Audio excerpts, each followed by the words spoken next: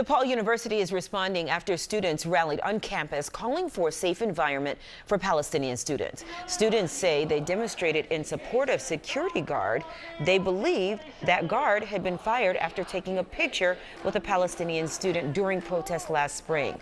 DePaul tells us that security guard worked for a contractor DePaul uses and is no longer assigned to the campus.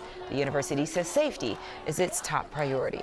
Watch breaking news on YouTube. Subscribe to ABC7 Chicago Eyewitness News.